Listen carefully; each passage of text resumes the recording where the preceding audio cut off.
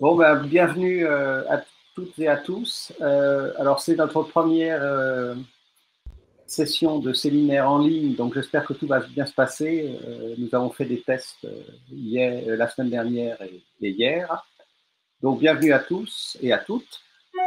Donc, nous avons le plaisir pour ce premier séminaire général à l'occasion de la procédure de, de sélection de quelqu'un pour euh, un poste euh, en physique et information quantique. Nous avons donc le plaisir d'accueillir Manuel Gessner. Euh, Is it how I It's, uh, it's good. Guess now. Yes, ah, Gessner. Yes, I wasn't sure. Okay, so uh, well, let's speak to English. Uh, Manuel speaks French, but he's uh, going to he is talking English. So uh, Manuel uh, graduated from the University of uh, Freiburg, I think, Yeah, and uh, he and uh, and he uh, yeah, spent first uh, the first postdoc in uh, in Florence, Florence, uh, and now he's a junior uh, researcher in uh, LKB, Laboratoire Kastler Brossel, in École Normale in Paris, and uh, we have the pleasure to discover him and to learn what he's doing. For those of you who don't know yet. Uh, so Emmanuel uh, will speak about quantum parameter estimation from fundamentals to technology. And so welcome, Gessner, and uh, it's up to you. Yeah, thank you very much. Uh, it's really a pleasure for me to be invited here and to be given the opportunity to present my research field and also some of my results. So in this talk, I will mostly focus on quantum parameter estimation, which is a general theoretical framework that has uh, a lot of interesting applications with um, quantum systems in general. and its theoretical framework is deeply rooted in the fundamentals of quantum information theory, but it also has very important applied um, applications. Uh, it has very important applications in technology, um, which I will also introduce to you.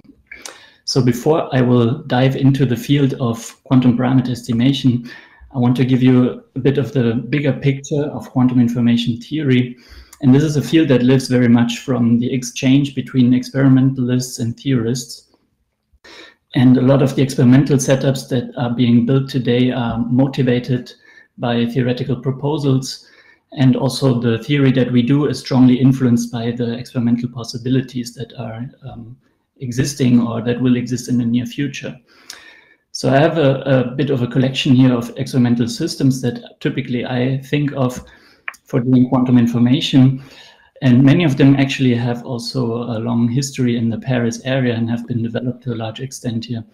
So we have on one hand, of course, um, quantum optical systems of photons. Then we have cold atomic systems. That is a, a huge uh, area of research.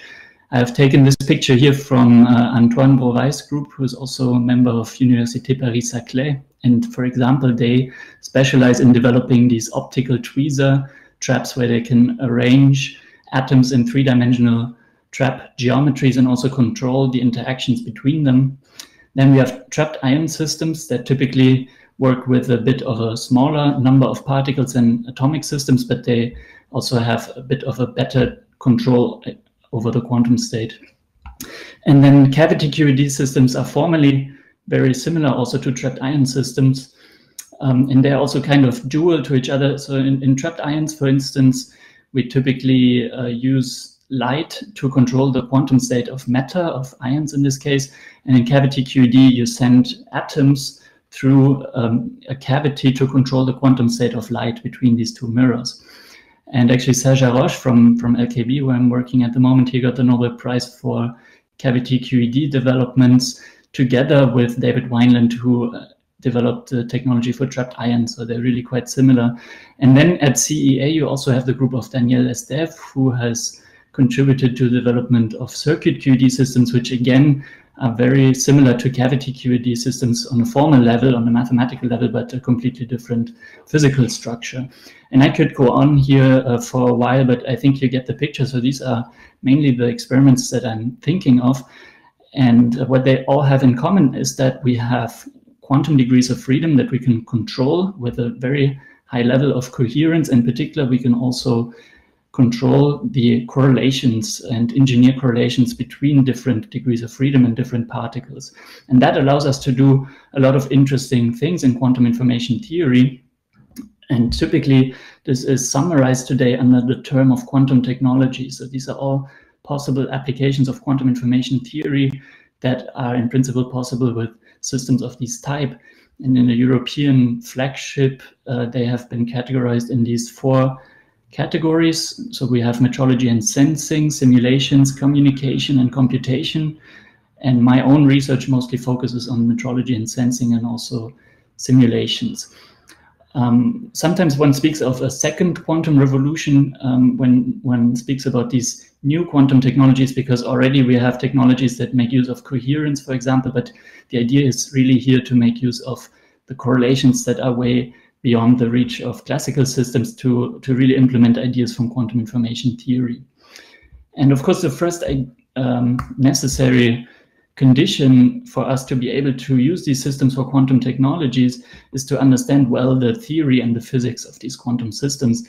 And I want to give you a bit of an idea of what physics we can look at. So I will take the example of trapped ions um, to show you how versatile and, and how rich the physics can be um, that we as theorists can, can study uh, motivated by such experimental platforms. So if we have a single trapped ions, ion, we have, um, first of all, an internal electronic degree of freedom that is described by a two-level system like a spin one-half particle, but also the ion moves in the trap, and uh, that gives rise to a continuous degree of freedom, so a um, harmonic oscillator. So these are the elementary Hilbert spaces usually that we work with to encode in quantum information. And then if we have multiple of these ions, we can control correlations between such degrees of freedom.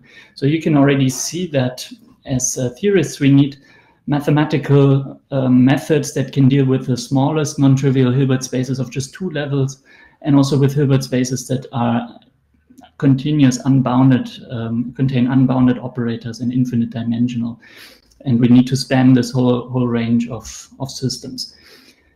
Then we can use laser interactions to control each of these degrees of freedom to uh, um, the single quantum level, essentially. And this allows us to do a lot of different interesting things. And I want to give you a bit of an overview of different topics that I have worked on um, here at the example of trapped ion systems, just to illustrate the, how, how broad the range of these systems can be. So for, for example, in this collaboration that we did with the group um, of Piet Schmidt in Hanover in Germany, um, we have used this, this laser control of the external degree of freedom to create non-classical states of motion that are extremely sensitive to small forces that act on the ion. And that would be one example of metrology and sensing, for instance. But what is interesting that if you look at this system and you completely change the parameters, um, of the laser, for example, of the trap, and you look at different observables, you can get a physics that is completely different. And then in this recent collaboration between theorists and experimentalists, we showed that if you if you operate the system in a completely different parameter regime, you can actually use it to mimic the evolution of electrons that transfer between parts of a molecular system. So completely different physics. And uh, this gets even more interesting and complex if we look at the many-body physics by putting multiple ions together in a trap. So each of these ions is positively charged, and that means when you move one of them, the other ions will also feel that, and there will be collective modes of motion because they are all repelling each other due to the Coulomb force, right? So you, you have collective modes of, of vibration in such a chain of ions. And this allows you to study the phonon dynamics, for example, which is something that we did in this collaboration with the trapped ion group of uh, University of California in Berkeley. And this is the actual picture of the ion chain that we studied with 42 ions. So you can see you can easily go to regimes where the Hilbert space becomes so large that we can no longer keep track of all the microscopic details in these systems.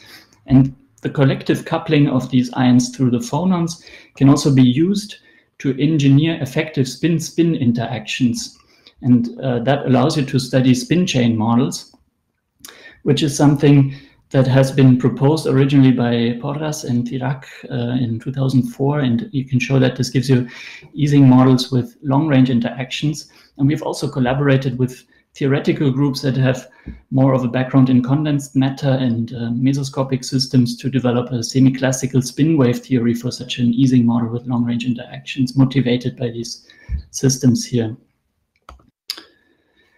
So in these systems, you can tune the interaction between the spins and you can tune the strength of a transverse field.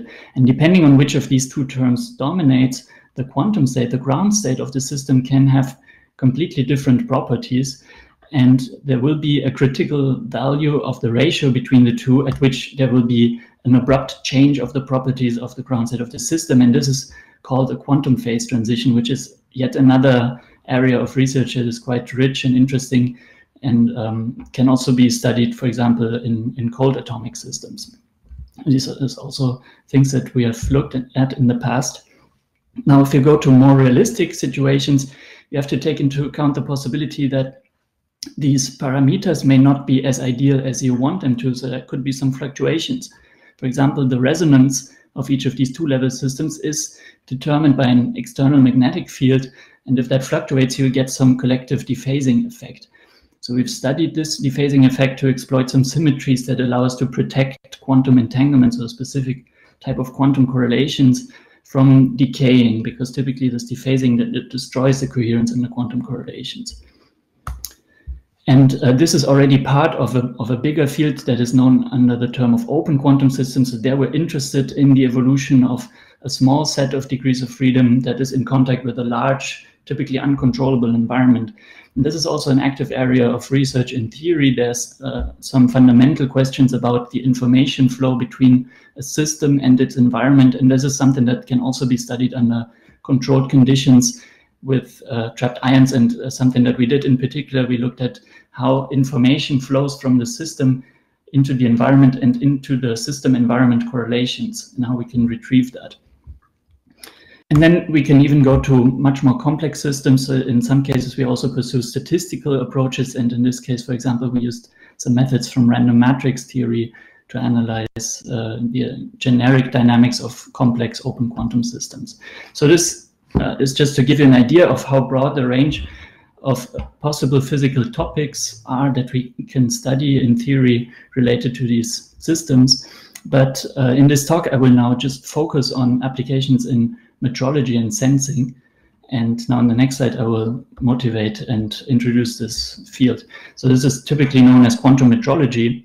And I can motivate this just by asking a very simple fundamental question. So assume that you have a quantum system, many body system perhaps, that is characterized by a set of parameters, and you would know, like to know these parameters with the best possible precision. So a fundamental question is, what are the limits on the precision that we can achieve for these parameters? And also what are the observables that we should measure that give us the most information about these? Also, perhaps in what type of quantum states should I prepare my system to be most sensitive to these parameters? So these questions are typically answered in the framework of quantum information theory.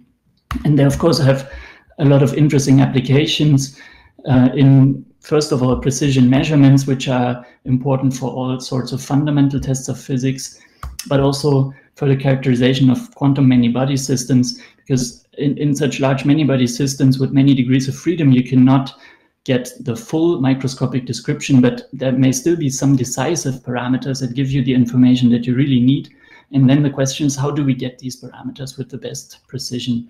So this is why uh, for the characterization of models and states, this could also be interesting. And this is, of course, important for the implementation of ideas from quantum information.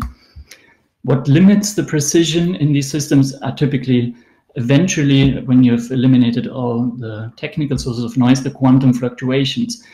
They are they cannot be avoided, but we can, in many cases, use tricks from quantum information to reduce their impact, such that they don't bother us as much. And then also quantum correlations are uh, typically the reason why it's hard to characterize large-scale many-body systems. And in this case, looking at the sensitivity of such a quantum system can also tell us something about its quantum correlations, as we will see in the course of this colloquium. So uh, it can also go backwards. So you can go both way here. Um, okay, so even if you've never heard of quantum metrology, there's one application of it that you may have heard of, which was uh, recently quite a lot in the discussion and scientific discussions, which is the usage of squeezed light in gravitational wave detectors, like, uh, for example, at Virgo or LIGO. And um, so these are essentially optical interferometers that can be depicted like this. This is a typical textbook depiction of a Mach-Zehnder interferometer. And uh, you use a laser, send it onto a beam splitter, and then there will be a relative phase shift between two arms. Then you recombine them, and then you measure the photons that come out to estimate the parameter of this of this uh, phase shift. Um, but there's something wrong with this picture. There's something missing, namely there is no such thing as a completely dark input port in this uh, beam splitter. So even if we completely block it, we will still be sending in a quantum mechanical vacuum state. And we know that the vacuum is not really empty in quantum mechanics. So if we represent the vacuum state in phase space, uh, we know that there's some area of uncertainty. So I apologize that the picture looks a bit strange. That's because I had to export it to PDF. But um, you get the idea. So there's some area of fluctuations here that is due to Heisenberg's uncertainty principle.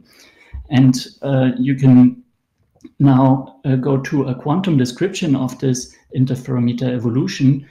Uh, and in this quantum description, we only have one mode because uh, the, the other mode is populated by a laser, which is a strong coherent state. So it's essentially in the mean field limit.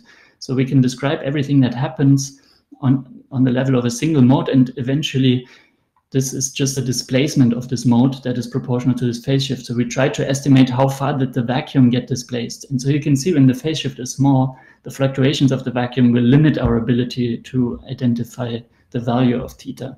And therefore, Carlton Caves in 81 had the idea to use squeezed vacuum states where you reduce the quantum fluctuations at the relevant direction, so to speak, in phase space of course, at the expense of extreme uh, of, of, increased fluctuations in a different direction, but we don't care about those because they don't limit our measurement. So now I want to look at this idea of squeezing, and, and this is precisely what is done now in, in um, gravitational wave detectors. So I would like to look at this now from a more abstract point of view. So let's say we have n particles that we send into some general interferometric process. So each of these particles can pass through one of the two quantum states here. So essentially, all of them are described as two-level systems. And then the collection of all of these particles is described by a collective angular momentum algebra. And you can show that the evolution of the, of the interferometer is nothing else but a, a rotation of this collective angular momentum. So the idea would be to estimate the angle of rotation here, and also the measurement that we do for this estimation is the measurement of one component of the angular momentum algebra. And formally, this is equivalent to Ramsey spectroscopy, so the standard operating scheme of atomic clocks, for example. So where this n could be n atoms that we use in an atomic clock. So um, you can represent the quantum state of such n two-level systems on a collective Bloch sphere. And you can show that if you use all of these particles individually without correlations, the best sensitivity you can achieve by a coherent spin state that has such a quasi-probability distribution on the Bloch sphere. So you can clearly see there are also some quantum fluctuations involved here, and they will, when we eventually measure the projection on the y-axis after a rotation around z, which is this one, will limit our ability to resolve the phase. So this is what limits also atomic clocks. And so therefore the idea would be to use squeezed spin states also to improve atomic clocks, which is something I want to um, explain to you now. So first of all, I would like to show you how we can make the quantum gain that we can achieve by using such a squeezed state quantitative. So how can we quantify the gain that we have? So for that, I would like you to consider a very specific and very simple method to estimate a parameter in a quantum experiment. So assume that you measure one observable x, so a generic operator, and it depends on the quantum state rho which uh, is a function of the parameter theta that you're interested in. And you know how, in principle, the expectation value should change as a function of theta because you've calibrated your apparatus or you have a theoretical model that predicts it. So this is a calibration curve that you know, and then you can do a bunch of measurements of this operator x. From these measurements, you can take the sample average and put it on the y-axis of your calibration curve. And then from the intersection here, you can estimate the true value of theta that was probably present when you took this data. So there will be some error associated to this very simple estimation procedure, which is due to the fluctuations of the sample average. And the fluctuations of the sample average, we can assume that we're operating in the central limit. So we do a large number of repeated measurements under identical conditions, and then this will be a normal Gaussian distribution, and the variance will uh, decrease with the number of measurements and will be uh, most importantly given by the variance of this operator. So we can put these fluctuations now here on the y-axis, and then we check how this propagates onto the error for the estimation that we do. And the way that this propagates, you can see visually here depends on the gradient at this intersection here. So you can calculate exactly that the estimation error will be given by the ratio of the variance and the absolute value of this gradient squared. So this is the, a simple error propagation formula, but that shows you that how the, the variance of an operator and its dependence on the parameter um, influences the sensitivity we can achieve from it. So let's apply it now to this Ramsey spectroscopy measurement or to a generic interferometer measurement. So we have a specific operator that we measure and we know how the operator changes because it's just uh, Schrödinger's equation that we use here. And uh, inserting all of that here, we see that the essential quantity that characterizes the sensitivity is just the inverse of the error here, modulo this, this factor that we don't care about so much at this point. And we obtain something that is known as the spin squeezing parameter that was first introduced by David Wineland in 92. So by the way, David Wineland is the trapped ion um, guy who got the Nobel Prize together with um, Serge Haroche in, in 2012. So this is um, how we can quantify the quantum gain that we can achieve from squeezing. You can see when the variance is small, um, then you get a better sensitivity. And uh, soon after that, um, it was realized that when you have uh, access to nonlinear time evolutions, for example, a quadratic Hamiltonian, you can transfer a coherent spin state into a squeezed spin state. And then there have been proposals more specifically, for example, with trapped ions and Bose-Einstein condensates on how such a nonlinear evolution can be generated using the available laser systems and interactions that we have. And this has really opened up a huge area of research. And you can uh, see a summary of experimental results here in this plot, which is from this recent review. And they show here as a function of the number of particles, the quantum gain that has been reported in these experiments. So you can see here trapped ion systems, Bose-Einstein condensates, and cold thermal atoms. So I would like to explain to you uh, a bit more in detail how this works with the quantum gain and also what are the limits of the spin squeezing idea, which is mostly what people used in the in all of these experiments. So spin squeezing is really the standard method here to achieve a quantum gain. So I will use a spin squeezing parameter to quantify the sensitivity as we've discussed before. So I, the only modification is that I'm optimizing now over all possible directions of this rotation and the measurement to make sure that we're catching the right uh, squeezed direction of the state. And I make a small modification to the nonlinear evolution um, by adding a transverse field also of a specific strength. This is just because this gives us squeezing on the fastest possible timescales, which is something that we showed in this paper here. And this Hamiltonian has a very nice classical, semi-classical interpretation as well. So these are the classical trajectories on the Bloch sphere. And you can see there's an unstable fixed point here. This is where we're going to put our initial coherent state, and then it has to follow these trajectories, the separatrix, and thereby it will eventually get squeezed. This is uh, simply how it how it works. So the idea would be to put this nonlinear evolution before the interferometric measurement and then use the squeezed state that we get at the end of this evolution for quantum enhanced sensing. So let's see what we get. So this is the sensitivity as a function of the time that we apply the nonlinear evolution and quantified by the spin squeezing parameter. So it will grow, it will reach a maximum when the state looks like this. This is again a Wigner function, a quasi-probability distribution plotted on a Bloch sphere. And you can clearly see this looks squeezed and uh, it starts to wrap around this separatrix structure. and then there's a maximum at this point. But if we now continue this nonlinear evolution, the sensitivity will go down. So the typical way that spin squeezing is used in experiment is they stop at this point. And so the question that we've been asking ourselves is, is it really the case that the states after longer evolution times for this nonlinear Hamiltonian become less sensitive, or maybe are we are we missing something? So we can look at the states also that we get at longer times. Now, of course, they will they will wrap further around this trajectory, and there will be very fine interference fringes, um, which make the state look rather complex at longer times. But these very fine interference fringes, they indicate that when you do a very small rotation of the state, it should be very sensitive to small rotations. So in principle, we expect to be able to find a hidden um, gain here that is just not captured by this approach. And the reason that it's not captured is if you look at this expression for sensitivity, it is just uh, made of first and second moments of the of linear operators. So essentially, it's a Gaussian expression. It just tries to characterize the features of the state by looking at the variance of the collective angular momentum. And so this state here, if you know the variance in this direction and that, you know everything. So this is essentially a Gaussian state. But this is no longer the case here. The variance has actually increased again. So the idea is the measurement of a linear operator is just not adequate to characterize these more complex states. And for this reason, we have extended the idea of spin squeezing to nonlinear observables as well. And we've developed a method that allows us to identify observables for such quantum enhanced precision measurements analytically that are optimal as a function of all possible observables that you could measure. So we get a generalized version of the spin squeezing parameter. And we can use this, for example, to optimize over not only linear observables, but also second order measurements of the collective angular momentum.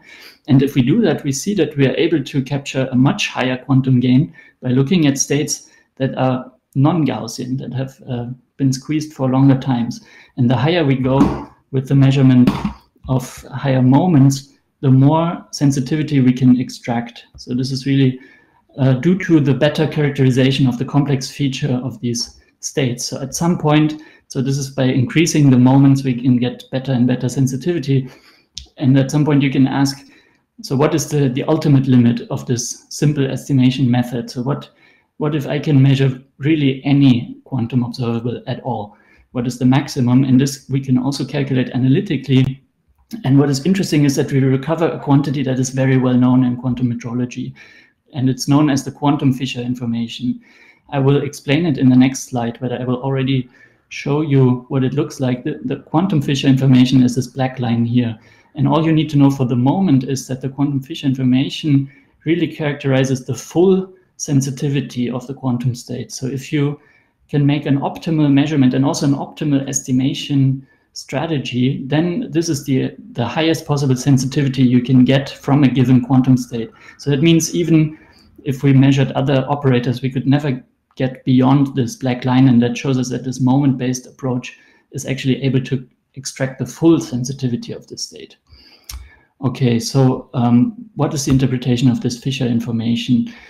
To do that, I need to take a step back and um, look at this problem from a more abstract point of view. So we will now no longer just focus on a, on a very specific estimation protocol, which was based on the expectation value of one observable, but now we will take this um, to the, the most abstract level. So we just say there is a quantum state that depends on a parameter we do some kind of measurement and then uh, we obtain results that in quantum mechanics will be distributed randomly according to Born's rule. And now we would like to estimate the value here.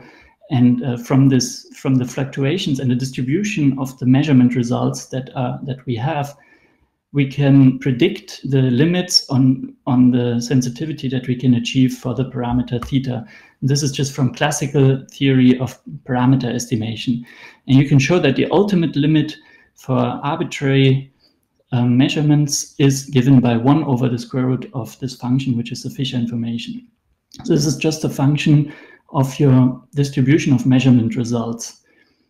And uh, so this really tells you there is no method that can give you a better precision. And if you saturate this, you have done the optimal processing of the data that has this distribution. It, it also has a really nice information theoretic interpretation, which I want to show you briefly. So the Fisher information, you can interpret it if you look at the distribution of the measurement data for different values of this parameter theta. So for one value theta 1, you may get the green distribution of measurement results. For theta 2, you get the black distribution of results. And now each of these probability distributions we can represent in an abstract space of probability distributions where we can introduce the notion of statistical distance. It just tells us how distinguishable are these distributions. And once we have a distance, we can also look at the derivative of the distance. And that we can interpret as a measure of statistical speed. And this is precisely what the Fisher information is. It tells us how quickly do my measurement data change when I have a small variation of the parameter that I'm interested in. And, and that's the reason that it's inversely proportional to the error that you can make in an ideal case. But so far, all of this is characterized just in terms of a classical probability distribution. So we can get classical probability distributions from, from any stochastic process. You don't necessarily have to relate it to a quantum measurement problem. But here we want to really characterize the properties of the quantum state. In quantum information theory, we really try to extract the information at the level of states and not at the level of probabilities. But the problem is that the probability depends on the choice of the measurement, which could be just simply a bad choice. So to get rid of this, what we do in quantum information theory is we optimize such quantities over all possible measurements. And then by performing an optimal measurement, we can formally convert the space of classical probability distributions in a space of quantum density matrices, of quantum states, and the statistical distance then uh, is given by the fidelity of these quantum states, a quantum statistical distance. And in the same way, we can get the quantum statistical speed, which is uh, then the quantum Fisher information, so the maximum Fisher information extractable by all measurements, and therefore this determines the ultimate limit of sensitivity, because this is not only optimized over all ways that you can estimate, but also over all measurements that you can do on your system.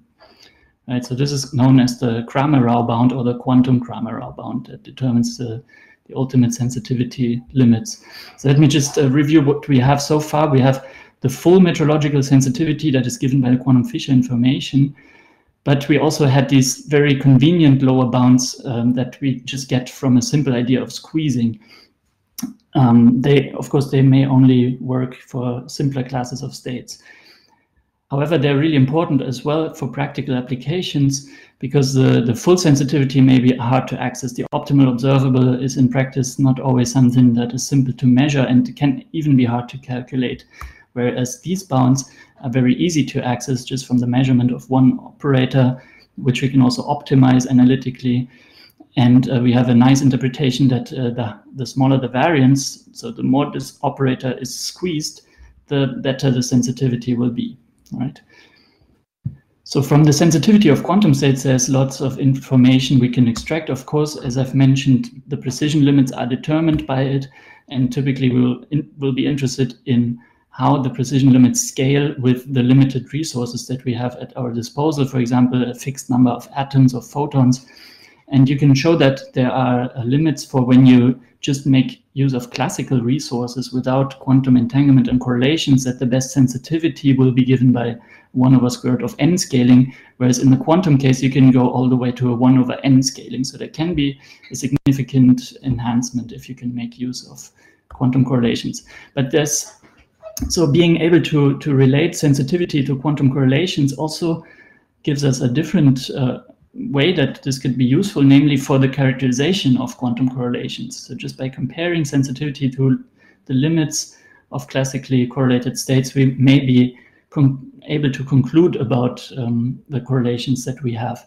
There's other applications related to that. For example, since the, the sensitivity scales with the quantum correlations, it will indicate um, when uh, some long-range coherence or long-range correlations emerge uh, in the presence of quantum critical phenomena. So this can be very useful to characterize quantum phase transitions and has been used, for instance, in the context of topological quantum phase transitions that are hard to characterize by other methods. And also for similar reasons, it is considered uh, a useful measure for the macroscopicity of uh, quantum superposition states, which is something that uh, Nicolas Sangouard is investigating.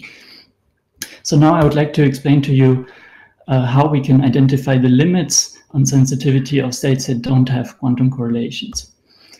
So let me just uh, very briefly review the idea of quantum correlations and the origin is in this historical paper by Einstein, Podolsky, Rosen from 1935. And there's so many ways that this paper has influenced quantum information theory as it is today that, uh, of course, would be impossible to um, really review it completely. I would just focus on this realization that when you have a pure bipartite quantum state, you don't always necessarily can assign pure quantum states also for each of the local systems. Yeah, so this is what led Einstein to argue that quantum mechanics is probably an incomplete theory because uh, he didn't have a local quantum description. Um, but today we've gotten, I would say, quite used to this strange phenomenon, and uh, we can attribute it to the presence of very strong correlations that are beyond the correlations that we can find in classical systems. And in quantum information theory, we work with this uh, weird phenomenon every day. So the way that we de define it today, uh, this quantum entanglement, these strong correlations, is as follows. So if you have a system for which you can describe the quantum state of, of two parties as a convex sum of product states. So these are uncorrelated local states for each of these systems. And then you take a classical probability distribution just to describe classical correlations and to mix them together. If you can find such a description, then you say your state is separable. And when this is not possible, you, the state is entangled, right? So we know, uh, even though it may be counterintuitive, that this is possible uh, from the EPR paradox, for example. Now, if I give you a density matrix and I ask you, is this separable or not? it's possible to show that it's a very hard problem. And uh, the reason is that you have to exclude all the possible descriptions of this type. And this can be really um, many. And so therefore it's a, it's a hard problem and an ongoing topic of research in quantum information to this day. So we always need new methods that uh, identify states that are not separable because it's important to recognize quantum correlations in all areas of quantum information. And this gets even more complicated when we go to multipartite systems. So in three parties, for example, they could all be separable from each other and they could all be entangled, but also we could have the situation where some of them are entangled and some are not. So you can see that this will quickly escalate into a, a hierarchy of uh, extreme complexity if you go to n-partite systems. And for this reason, uh, we hope that we can contribute to this, this problem also using methods from quantum metrology. So the idea would be that we derive upper limits on the sensitivity of quantum states that have only limited correlations. And then if we see that the metrological sensitivity is actually larger than this limit, that allows us to conclude that there must have been correlations in, in the quantum state for which we have obtained this sensitivity. So this would be the idea of metrological entanglement detection, which I will explain now to you in a bit more detail. So in general, the, the motivation is also that uh, we know the larger the Fisher information, the better we can estimate a parameter. But there are limits for how large the Fisher information can be, and uh, we can derive them using nice mathematical properties of this function, which are convexity and additivity.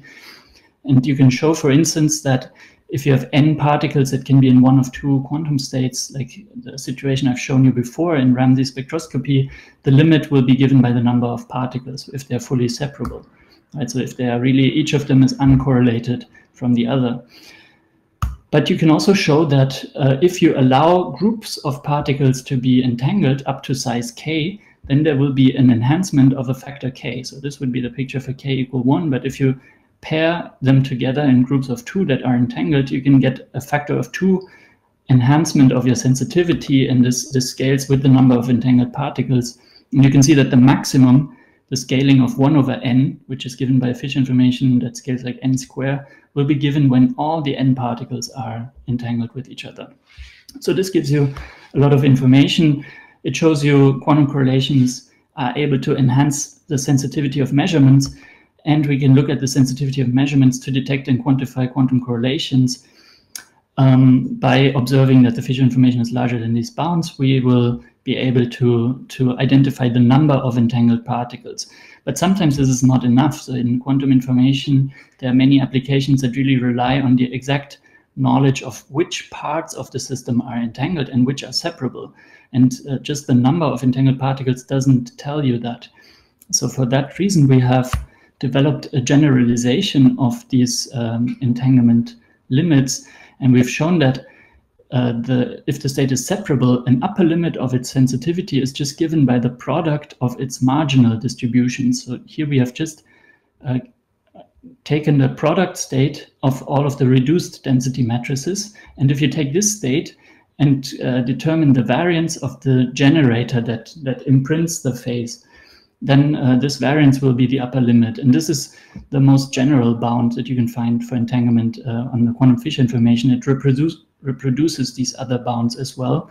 And it's applicable also to arbitrary dimensional systems where this one is limited to spins. So uh, just uh, um, what would be interesting now is if we compare these uh, entanglement limits, these separability limits, not only to the Fisher information, but also to the squeezing bounds that we've seen before. Uh, and if we put this together, so if I just put this variance on the other side, then uh, this takes a very interesting shape because this looks like Heisenberg-Robertson uncertainty relation. The only modification here is that I've taken the product of marginal states here. So this, this is not the full quantum state that I have to use to calculate this variance. If I took the full quantum state, that would mean we really have the Robertson uncertainty relation and therefore no state would be able to violate this. But this is an inequality that can be violated. And if we violate it, we know the state is entangled. So this is a simple way to characterize this metrological entanglement and to use it for entanglement detection as well. So you can show that the, the standard um, spin squeezing entanglement criterion is a special case that can be recovered kind of in the worst case scenario from this approach. And this has the additional advantage that it also tells us exactly which parts of the system are entangled, and it is applicable. It is applicable to unbounded operators as well. So we can apply this to continuous variable systems. Uh, I just want to briefly show you here um, an experimental collaboration where we did apply this to a continuous variable system. This is uh, quantum optical states and the quadratures are described by continuous variables. In this experiment, they produced a series of squeezed uh, quadratures and then mixed them on a beam splitter, and that gives you an entangled state that is known as a cluster state. Those states are used for quantum computations with continuous variables. And we used our method to verify that uh, these states are inseparable across all of the possible multi-partitions. So we can split the system in all possible partitions and check whether in these partitions there will be entanglement or not. And we found entanglement in all cases as a function of some tunable noise parameter that uh, has been introduced in the experiment. Okay, so so far I have um, mostly focused now on applications where we really make use of uh, strong quantum correlations to enhance the sensitivity or, the, or, we use sensitivity to detect quantum correlations. But uh, we should remember that this theory has a much broader scope of, of possible applications. And uh, it's not always necessary to talk about strongly entangled states to, to get something useful from the theory of quantum metrology, because it, it tells us in general, for example, how we can choose optimal observables in, in general quantum measurements.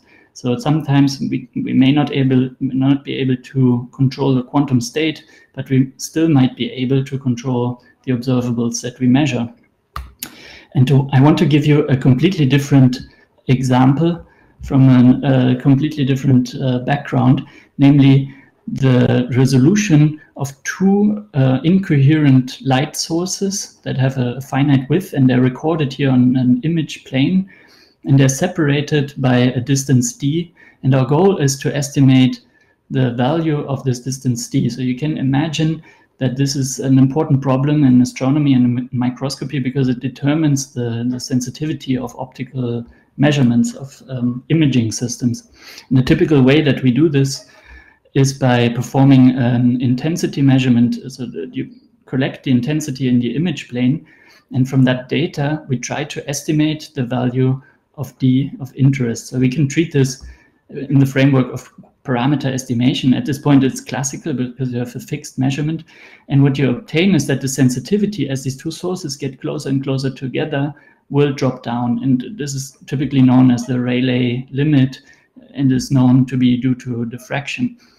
So this is basically a classical problem. We have classical sources here, but uh, in, in, 2016, the group of Mankei Tsang, they have uh, said, well, essentially, even though these states are classical, they are still quantum states. So let's treat this problem as a quantum problem and calculate the quantum Fisher information. So the quantum part means we have maximized over all measurements. And what they found is that it's independent of the separation between the two sources. So that means in principle, there should not be such a limit. This should be an artifact of, an of a suboptimal choice of measurement. And they've also shown that an optimal choice of measurement is uh, achieved by doing a mode decomposition of your image plane. So you, you decompose it into spatial modes, like these uh, Hermite-Gauss modes, and then you measure the intensity in each of these modes. And from that, when you measure really a full set, so infinitely many, then you will saturate this uh, and you will get an optimal measurement for the estimation of d. If you're just interested in um, in small separations between the sources, for small d, it's enough to just measure the first excited modes here. And so this is something that is really interesting for experiments. And um, my collaborators at LKB, Claude Fabre, Nicolas Treps, they actually have a device that can implement this mode decomposition. So they, they are interested in performing and they actually did this measurement recently. But what is the problem in all practical implementations is that there will be some imperfections in the measurement. So there's some probability to have crosstalk between the modes. And we were wondering how much uh, does this crosstalk influence this result? So is there some new limit imposed by, by realistic implementations of this. For this reason, we developed a method for the description of generic crosstalk. As a function of crosstalk, uh, using some random matrix tools, we came up with a generic model and we were able to show that uh, if you have crosstalk, no matter how small it is, as the two sources uh, get really close to each other again, at some point this uh, sensitivity will break down again. It's still much better than uh, intensity measurements, but you get a breakdown of sensitivity here. And this has also important implications for the scaling of the smallest distance that you can still distinguish from the noise. So when you did an ideal measurement without noise, then the smallest resolvable distance would scale like 1 over square root of n. This is the classical scaling that we're used to because uh, these are also classical sources, so we don't expect any better here. But in the presence of any non-zero crosstalk, we, we were able to show that the scaling changes and will will uh, switch to a 1 over the fourth root of n scaling. So you get a much worse resolution eventually. So of course, uh, there's a prefactor that it depends on how much crosstalk you have. And in realistic models, this is still um, a very good measurement. Um, so there's a lot of open questions also on this problem, like uh, what happens if we use quantum sources what happens if we really want to resolve an image? What uh, if we have several sources in an image plane and we would like to estimate all of the positions and coordinates? Now, in this case, we'll come back to this problem of multi-parameter estimation because th these are problems that are no longer characterized by a single parameter. Right, so what I've been talking about so far was the theory that we have for the estimation of single parameters theta, which as you can see is a rather well-developed theory. But now as we go to multi-parameter problems, we, we will see the limits of this theory. So first of all, to characterize the sensitivity and the error of a multi-parameter estimation problem, we need now to move to a matrix. So we no longer uh, rely on a single number that tells us how sensitive we are. And uh, for this matrix, we can still define uh, sensitivity limits as the Cramér-Rao bound, uh, but now they are matrix inequalities. So this, this is the inverse of the Fisher information matrix in analogy to what we've seen before. And this would be the inverse of the quantum Fisher matrix. Now there's, however, a huge difference to the single parameter problem, namely that we can formally write down the quantum Fisher matrix, but we cannot identify a measurement that will actually saturate this. This is a really uh, big problem in this, in this area. The reason is that for each of these parameters, you may get an optimal observable that may be different. And if they don't commute with each other, and which is gen generically the case, then you cannot measure all of them at the same time without disturbing. And therefore, you cannot do a measurement that is optimal for all parameters simultaneously. However, there, there are situations where we can circumvent this problem. For example, if we consider uh, a multi-parameter scenario where all the parameters are encoded locally in different modes. So the generating Hamiltonians here all commute with each other. And in this situation, we can saturate these bounds, and this has allowed us to identify the sensitivity limits for uh, generic problems of this form in, in multi-parameter quantum metrology. And what is interesting here, um, in for each parameter, you basically have a small interferometer. So you can use the single parameter theory that I've shown you so far to understand how the entanglement between the particles that enter can improve the sensitivity for such a parameter here. But on top, we have now different modes in which the different parameters are encoded. And we can also think of the quantum correlations between these modes and ask if that can give us an additional advantage on top. And uh, we, we could show that if you have entanglement between these modes, you can actually get an additional collective quantum enhancement from estimating all parameters simultaneously instead of uh, one after the other. So important applications of this theory are, of course, um, multi-mode interferometers in optics, for example, but also you could think of um, multi-mode Ramsey spectroscopy setup where if you have an atomic ensemble and you split it into different spatial modes that are addressable, then you could use each of these local ensembles for Ramsey spectroscopy, like in an atomic clock or an interferometer.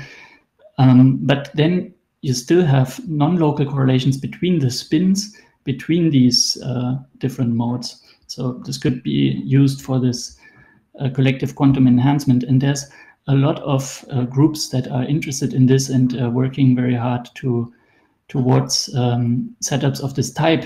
Uh, two years ago, there have been three groups that have achieved to prepare a squeezed ensemble of uh, Bose-Einstein condensates with uh, spatial resolution by splitting the ensemble into several small microtraps. And this has potential applications in the sensing of electromagnetic, electromagnetic field distributions, and of course in quantum imaging, as I've discussed before. And uh, since it's hard to find achievable bounds on the sensitivity in these problems in general, we were motivated to, to reconsider this idea of squeezing. So can we get simple, accessible lower bounds on the multi-parameter sensitivity from squeezing in an analog way as we did for uh, single parameters?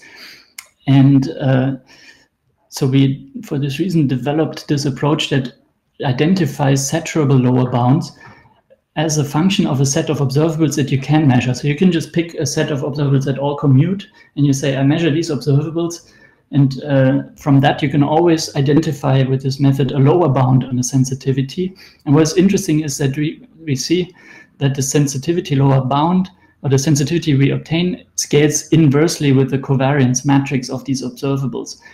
So you remember from before in the, the idea of squeezing was that uh, one over the variance is related to the sensitivity. So when the variance gets small, we get a better sensitivity. And this is kind of the matrix version of this result.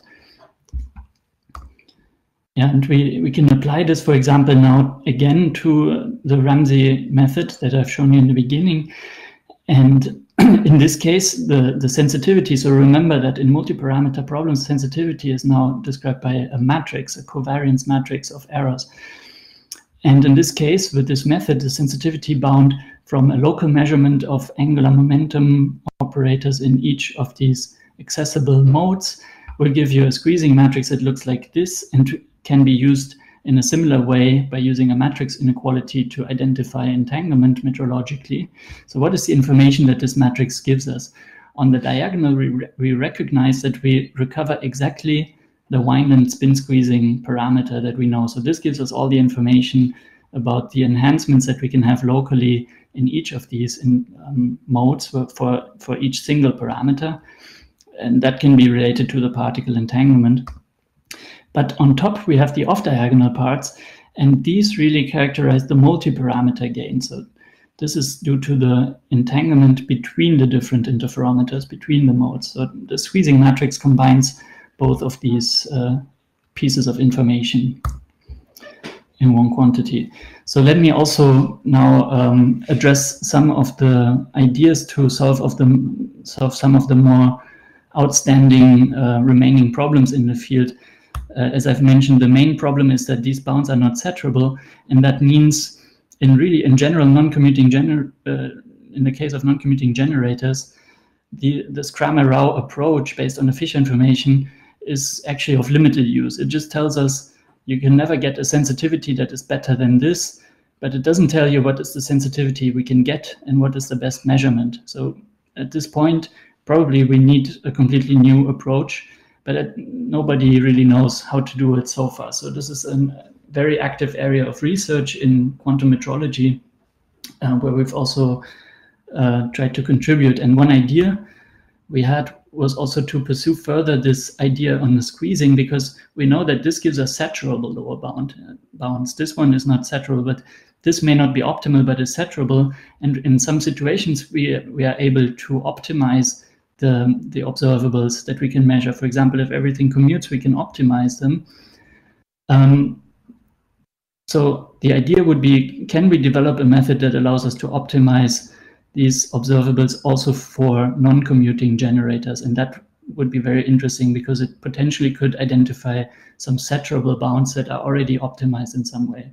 Other ideas would be to generalize the idea of the Fisher information because the Fisher information basically is a quantity that has only meaning in the asymptotic limit. So when you take a lot of measurement data, classically there are a lot of bounds in parameter estimation also known that are valid beyond uh, this limit. So when you have a finite signal to noise ratio already.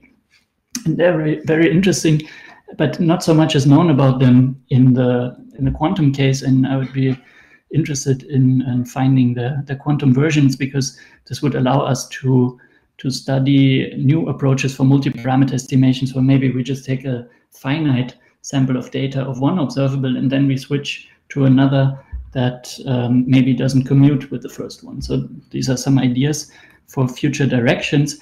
And we also have reasons to believe that in this case, in the multi-parameter setting, stronger correlations than entanglement could also become important. And these are also subject of intense research in quantum information theory. So these are known as Einstein-Podolsky-Rosen steering is, is known to be a stronger form of entanglement and also those type of quantum correlations that violate Bell's inequalities. Those are typically used in quantum communication protocols to get the ultimate level of security.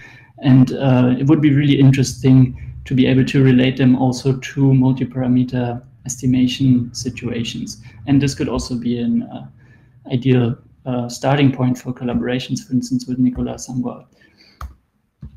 So with this, I'm at the end of the presentation. I would just uh, conclude and, and, summarize in a, in a very schematic way. So what I've talked about is quantum parameter estimation. And at the center of this theory is the metrological sensitivity of quantum systems that can tell us a lot about the quantum correlations of the states that, uh, that we're looking at. So it goes both ways. The correlations can improve the sensitivity, but we can use the sensitivity also to characterize correlations, which is a very non-trivial task and very important in all areas of quantum information. And in general, this is a framework that allows us to identify observables and quantum states also in experimentally relevant situations or in all sorts of theoretical scenarios to get the best possible precision on a set of parameters that we're interested in, or at least on a single parameter. The field is pretty much motivated by all of the advances we had over past decades in the development of controllable quantum systems in experiments and still the ongoing research is, is very closely related to it. And a theoretical foundation is given by quantum information theory, basically. So there's a very strong relation. This is essentially a subdiscipline of quantum information theory. And it has a lot of interesting applications. On the one hand, it's very useful in many situations to characterize many body quantum systems that are just too complex to, to characterize completely, but maybe getting some decisive parameters um, can be done with these tools. And it's also very relevant for applications, in particular for the development of quantum technology and for the understanding of ongoing experimental efforts that we have. With this, I'm at the end of this talk and uh, thank you very much for your attention. Looking forward to your questions.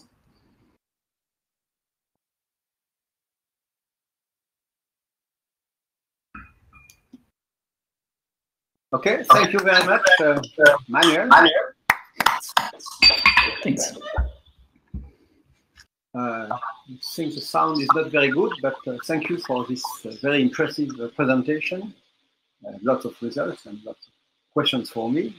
So now we have time for questions. So please, uh, when you have questions, just activate your microphone and talk, or you can also send the question via the chat session, the public discussion session. So who wants to ask the first question?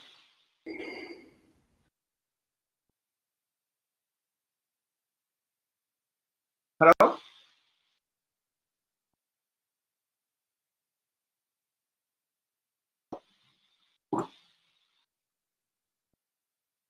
Hello, Francois. Hello, Manuel. Do you hear me? Ah, yes. Yes. Yes. Yeah. So I, I have a, a, question, Manuel, if you don't mind. Um, thanks a lot for the for, for the very nice talk, very pedagogical talk.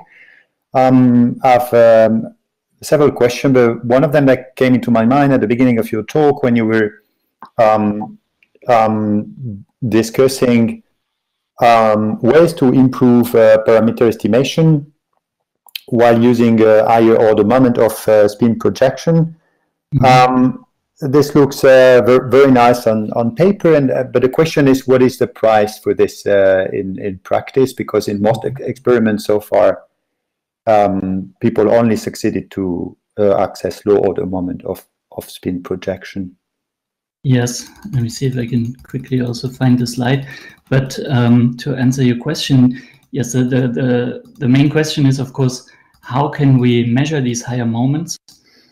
And um, so there's there's different ways. So if you really have uh, a high resolution and you measure just a, a, linear observable of this type, and you can look at the full histogram of your of your measurement data, then you can also extract higher order moments. This is something that that people can do with the measurements that that they have at the moment already. But the problem is that when you try to get a higher moment from this data, of course, you will have a much higher level of fluctuations and noise.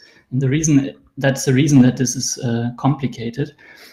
But there are other methods that are really already being implemented that give access to nonlinear measurements effectively. And what people do is they put in a different nonlinear evolution before the measurement of an observable that is actually linear. So if you add another squeezing before you do the measurement, you can just measure linear moments, but effectively this maps to a measurement of higher order moments. Mm -hmm. And uh, this, this is known under the term of um, echoes, like uh, squeezing echoes.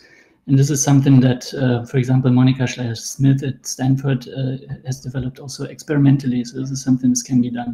And we're currently investigating uh, optimal ways to do these echo experiments and the scaling that we can expect with the number of particles uh, in a collaboration also with people at LKB from the, the Atom Chips group at uh, Jakob's, Jakob Reichel's group, and also the theory people there, Alice Sinatra, for example. Mm -hmm. yeah.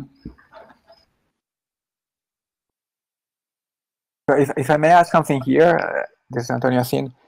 Yes. So you uh, here you were playing with the observable, right? Introducing nonlinearities, as you said and you didn't touch the initial evolution, is it because it's optimal? Does it make sense to touch the, or it doesn't? Yeah, so the, the evolution, in a sense, we already optimized um, because you can show that if you use a quadratic Hamiltonian together with a transverse field that has a very specific value of lambda, so the value is chosen in a way that you get exactly this, this diagram, uh, that uh, we have shown in this paper gives you the generation of squeezing on the fastest timescales. And the same is true also if you look at the quantum Fisher information for these states. So uh, on the fastest timescales, of course, within a limited class of Hamiltonians. So we, we considered all Hamiltonians that are quadratic and linear. If you go to even third order, okay, then probably you can do even better, but this is still a bit beyond the reach of experiments. Yeah, but I was thinking like uh, you consider third order for the observable, but not for the evolution. So could you? Yeah, but uh, measure, me measuring third order, I would expect still to be easier than generating a third order Hamiltonian because the second order comes from from interactions between particles, pairwise interactions. So to get a third order Hamiltonian in your time evolution, you would need to engineer three body interactions. And uh, I imagine that it's possible, but I also think this is much harder than uh, measuring third order moments from uh, from a linear operator, for example. Okay, thank you. Mm.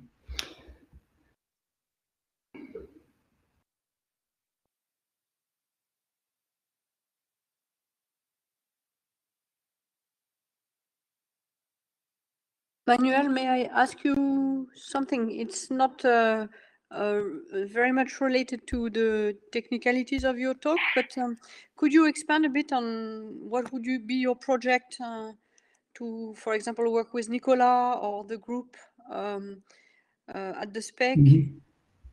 Yes, so um, with uh, with Nicolas, so Nicolas, he uh, has a lot of um, background in these stronger quantum correlations that are necessary for um, for quantum communication, for example.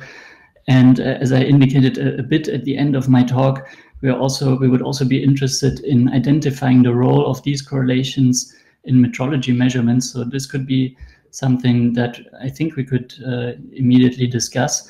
Another possibility is um, for direct interactions would be um, using the sensitivity of quantum states to quantify the macroscopicity of quantum superpositions. And we've also been uh, interested in um, developing methods that will generate macroscopic superposition states. And the same also has been studied by Nicolas Sangouard.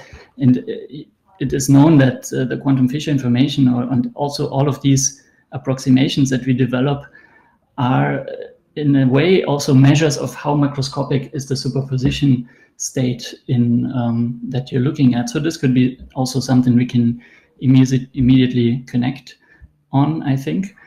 Uh, with SPEC, uh, there are experiments, of course, by Daniel Estève. So there are uh, the superconducting qubit experiments. I personally have not yet worked on, on this platform, but I think the mathematical framework is not that different from the systems that I've studied before. Um, basically, you have the, the same uh, structure of the harmonic oscillator in the, in the spin system in all of these experiments.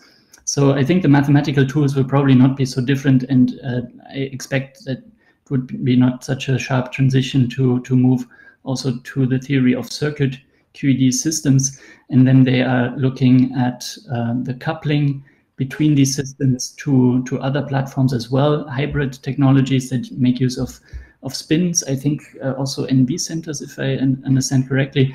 And those systems can be used very well for, for precision measurements and sensing. So I think there's a, there's a lot of um, points where we can start discussing about uh, also collaborations with the experiments at SPEC. Thank you.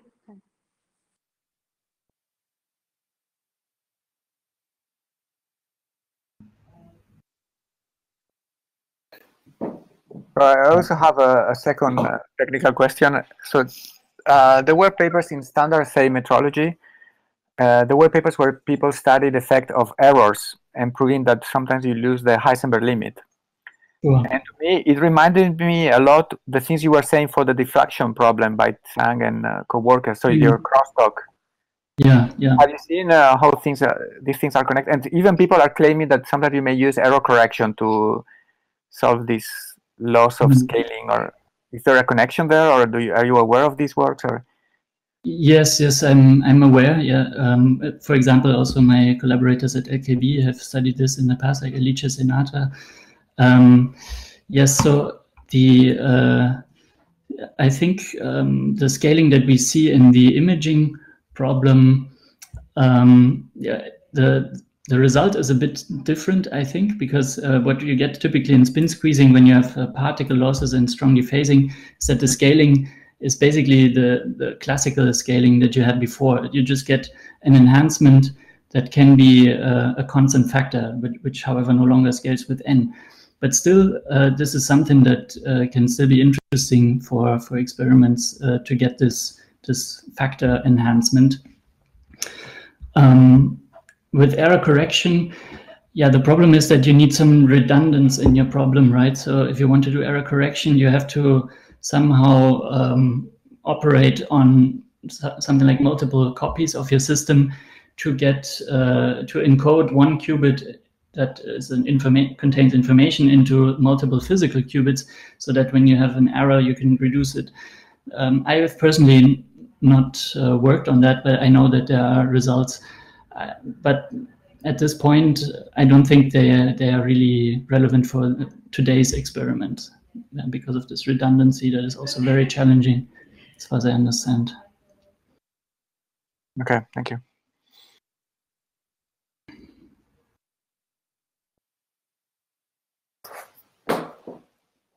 So maybe Manuel, if I can go on along this line, uh, I feel I, am personally interested in in this activities are aiming to combine error correction and um, and um, metrology because this is a way, for example, to you know to extend somehow metrology to the direction of computation or to extend tools from computation to metrology. Mm -hmm. So can can you can you can you do you have any idea of of I mean, even if in practice error correction might not be yet useful for metrological tasks, mm -hmm. you have an idea of the kind of requirement, technical requirement um, for making this um, practical, you know, to beat noise and eventually to get uh, yeah. So if I metrology scaling, yeah. If I if I remember correctly, for, for error correction, yeah, the idea is to have multiple qubits that will just represent one. So I, I know a little bit about that from my background in trapped ion um, physics that uh, use error correction for quantum computations. And uh, what I expect is that you need access to the individual qubits. So I would guess in a metrology setting, um, a requirement would be to have something like uh, a quantum gas microscope where you can resolve individual particles and um, manipulate their quantum states locally. And uh, this is something that uh, experimentally a lot of people are interested in, and um, I think it would be would be really interesting to see the the possibilities also for metrology of these uh, developments. So at this moment, uh, this may not be the, the, their main motivation. And so with this connection through uh, quantum error correction, establishing a relationship maybe to quantum computation, um, yeah, I think it, it could be interesting.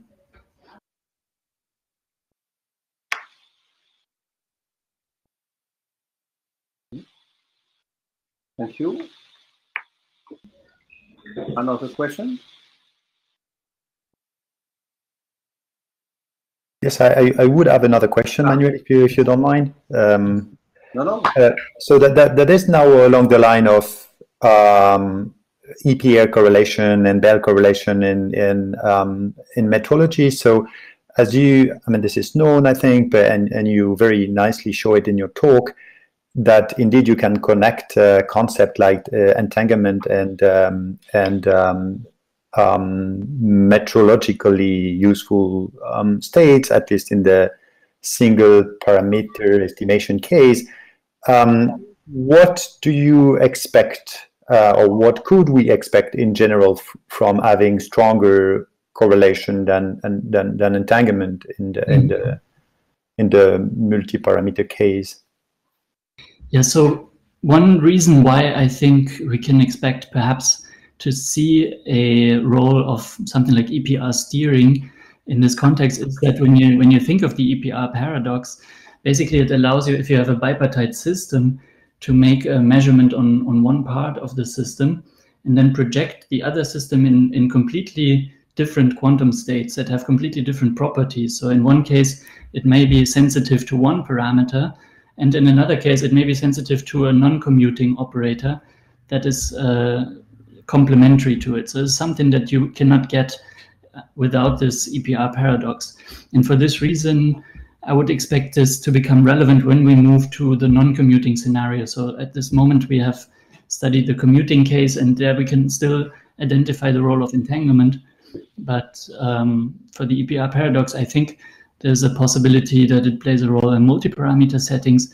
And uh, what concerns Bell correlations, well, you have also yourself worked on this uh, witness on on many body Bell correlations, and also Antonio. So um, there you already see that you can use quantities like uh, the spin squeezing in an atomic ensemble and relate it in some way to the many-body uh, quantum non-locality or Bell correlations, even though they're not uh, non-local.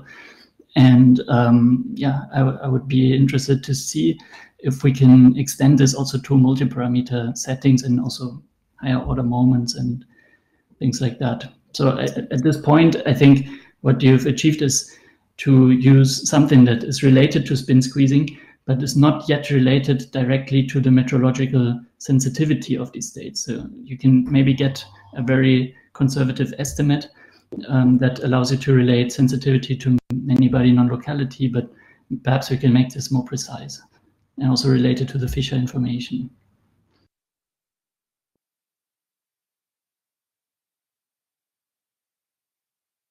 Okay. Are I have a question. Yes. It's a more uh, general. I'm from. I, I'm quite far away from the field. Um, Yeah. Where do you see the field going in, uh, in, in in five to ten years? What do you see? What do you see yourself doing? Um, another way to answer to ask a question. It's something which uh, somebody got asked at an ERC interview. Um, over the next five or ten years, what's the Nobel Prize level idea which you'd like to solve? General. yeah okay um, so about this field what i what i would hope is that um, on the one hand we find a lot of problems in uh, quantum measurement problems that so far we did not dare so to speak to ask about optimal quantum measurements like if you think of the imaging problem this is a problem that has been out there for years but nobody has considered the idea even to optimize over all possible quantum measurements in this scenario. But once once this formalism of metrology was applied, there's a huge uh, area of research now coming out of this, and this has uh, proven to be extremely useful. So I, I would expect that there's many cases like this still out there where people just did not yet uh, apply a rigorous theory of quantum measurements to identify what are really the limits and uh, to maybe find surprising results on how we can improve the measurements that we do today. So this would be this would be one case. The other point is that I think it would be nice to to connect it better also to the other quantum technologies in a sense that um, perhaps we can come up with um, ideas of metrology also, for instance, in quantum communication, where you try to get some information from a different partner, but uh, you also want it to be secure. So you, you want to estimate some uh, information that is sent to you with the best possible precision. So you want to use ideas from metrology, but also you want to combine it with the security of quantum cryptography, for example, and uh, also as uh, Nicola has indicated in the connection with quantum computing and simulations, there I think could be a lot of fruitful interactions. So now the question about the the question was, uh, what is the Nobel Prize winning idea that I would like to solve in five years? Did I understand correctly? Five or ten. Five or ten. Ah, in ten. Oh, yeah. Thank you. You're generous. yeah. Uh,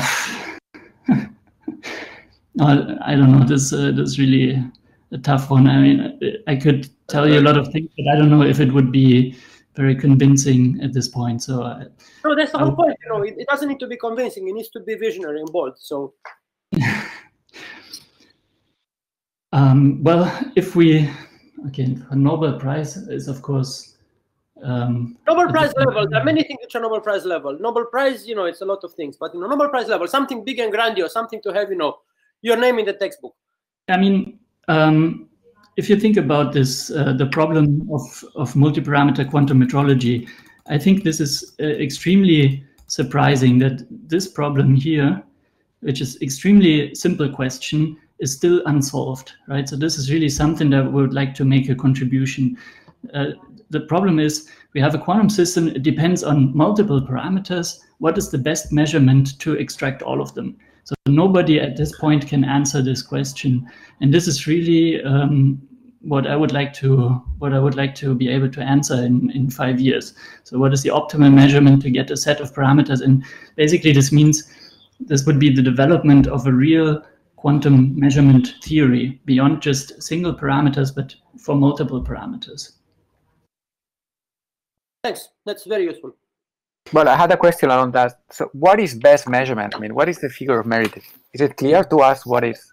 Yeah, yeah, that, that's a that's a very good question. Of course, yeah. So it, it depends, uh, of course, on how you how you characterize the the the sensitivity that you have. So typically, what we do here for multi-parameter estimation is we look at the covariance matrix. But then the problem is that we would like to find matrix valued lower bounds on the covariance matrix that are optimal in a sense that we can get a matrix inequality and this is really the lowest uh, value of this error matrix that we can get. So this is how we are approaching this problem at the moment in multi-parameter quantum metrology.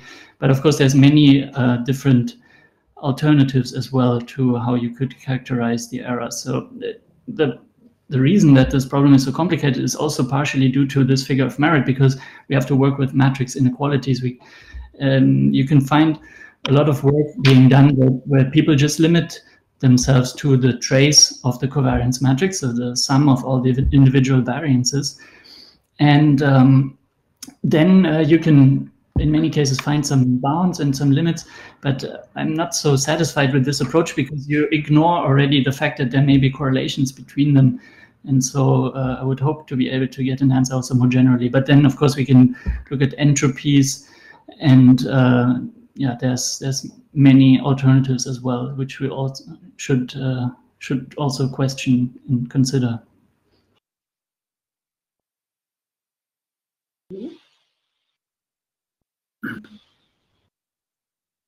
Other questions?